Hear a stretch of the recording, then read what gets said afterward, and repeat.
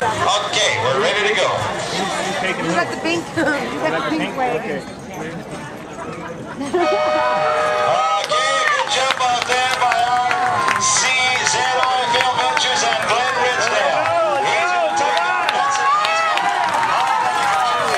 He's gonna- Second spot out there. Drew Tubing. ThruTubing and Ryan McAleney having a great race out there.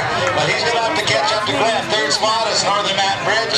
And falling behind a little bit is the man from Dawson Creek, Brian Lewis. Uh, Glen Ridsdale for RCZ Oilfield Ventures has got the lead, a full-length lead ahead of ThruTubing and Ryan McAleney as they are now at corner number three. He's going to hold off on uh, that one. Change colors on his wagon a little bit since the last time I seen him. I think that might belong to uh, one of our WP driver friends out there. But that's okay. It's working very good for him as he's on